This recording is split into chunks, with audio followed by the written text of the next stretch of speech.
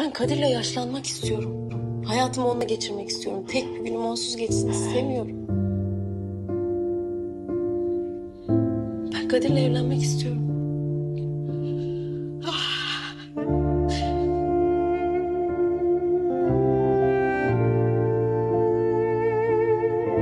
Ama her şeyden önce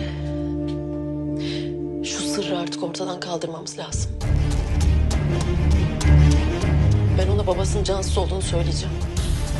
Ben senin cinayet işlemene yardım ederim. Şimdi sen de bana yardım edeceksin. Ne gibi bir yardım bu? Cemre'yi bana getireceksin. Asiye sen onun için ölebilir misin?